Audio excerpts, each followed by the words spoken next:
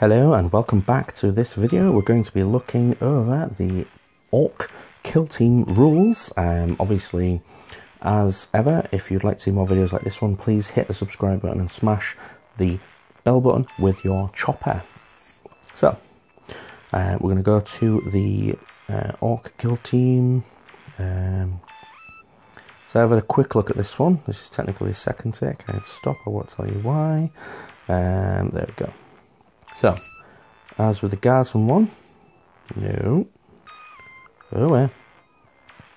This is just fluff. Um, so for the first time, obviously, if you want to do a screenshot, do a screenshot, um, and you'll see um, the fluff. Yeah. Um, this. So again, I like the fluff side of it. So this is the lads. Um, there's a lot of uh, very orky ones. Um, I like the idea of the shootiest ones because I do love shooters, even though they are stinking really bad shots. Um, so obviously, again, you can look at these ones, screenshot them if you wish. I'm not going to tell you to do it, but you know, that's what people do. That's what I do. Uh, uh, addicted to destruction. The plan. Um, the thing I like about this one, where is it? There was one I really liked.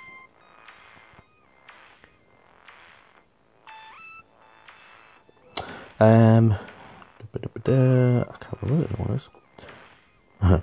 so this the, the number three um, is the way I play Fallout or any other game.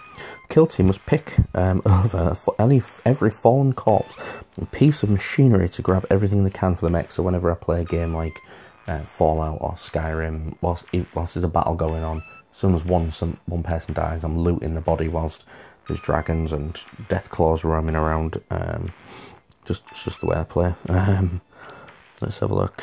Uh, Practical jokes, I like this one as well. Um, whether it's sting sting jaws placed on the fellow's trousers, slugger grips loosened while the owner is distracted, or explosives in stick bombs placed within stink squigs, this mob will go to any lengths to mess with each other.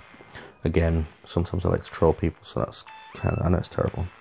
And again, if you want to see them, um, you can do a screenshot anytime you wish a bit more closer, closer. Anyway, so we'll go on to the actual rules. Um, no, we won't. We'll have a quick look at this. So again, too dumb to know fear. Nothing could dissuade this ork from attacking. I like that. Uh,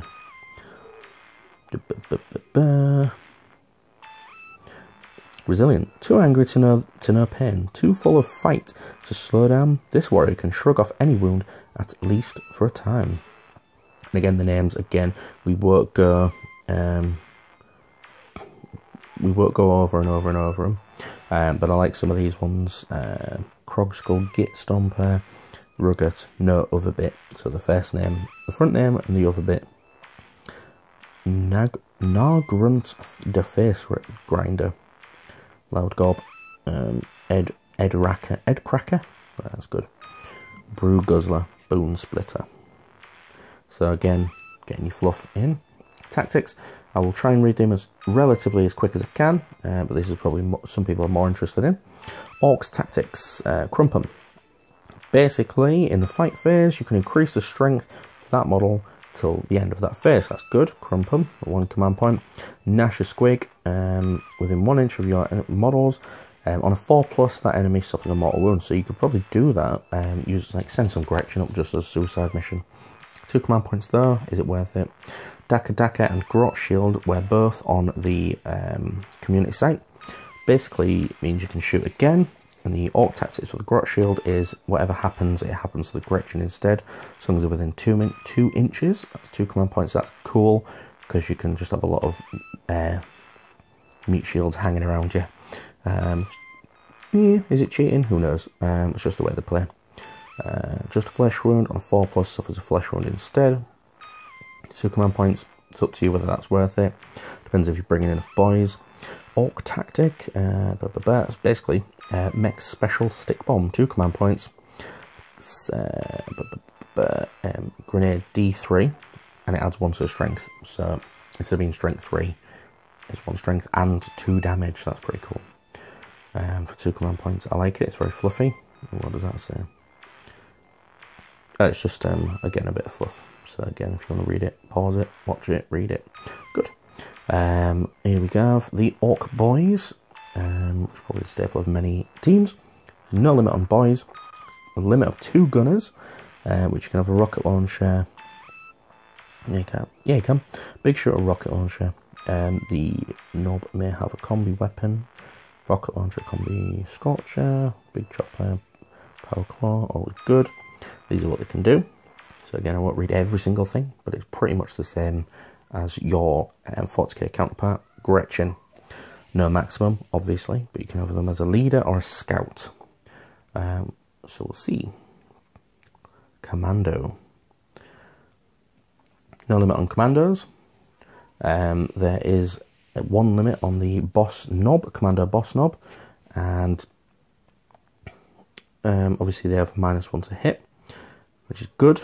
Um, good for a, a, Nob. I've got a converted one already. Banner bars, I have none, none of these anymore, which is a little bit annoying because it would be cool for this. Um, you can have three spanners and no maximum burners, so you can do what you want pretty much. But orks are a really cool kill team. Um, Lootas, no limit on them, always good. um, a Loota spanner, you can have a maximum of three. So you could have like all Meks if you wanted to, if you wanted to lose your mind to do that. Um, yeah. So we'll see what the weapons are like. So the main one I'm looking for here is the Deffgun. It's exactly the same as the 40k counterpart. So D3, strength 7, so it could be pretty brutal. It's 48 inches, so pretty much anywhere on the board you can sit there and just pop shots off, even from corner to corner, I reckon. Uh, rocket launcher, same as ever. Um, the shooter's 18 inches, that's standard. So that could be cool. Uh, Grot Blaster is 12 inches. Yeah, meh. Oh well. Power Claw, same as before. Um, here we are. Burna Boy is 12 points, Span- Burna Spanner's 10. Uh, so you could have probably about two two Nobs in the team with a boy, a boy Nob and a commando Nob. Ork Boy six points, Ork Boy Gunner seven points, makes sense. A rocket launcher, let's see what points are for that. Three points, sorry, no, couldn't see that for the life of me. Power Claw's four points, so obviously a lot less points than the actual main game, um, which is interesting. There's a picture, I'm guessing this is the end of it. Yes, we don't look at the town. Um, so it's very interesting, and you've got a lot of choice. If you've already got an ork 40k army and you've got all these units, you are laughing your ass off. Uh, brutally honest, um, they're a cool. Seem to be a cool kill team. I've never played them. Read the book about an hour, um, so we'll see how they play. Let me know what you think. Um, obviously, as before, um, like, comment, subscribe, all the rest of it. I'm going to go now because I feel like I'm rambling. Uh, but thank you for watching and enjoy till the next time.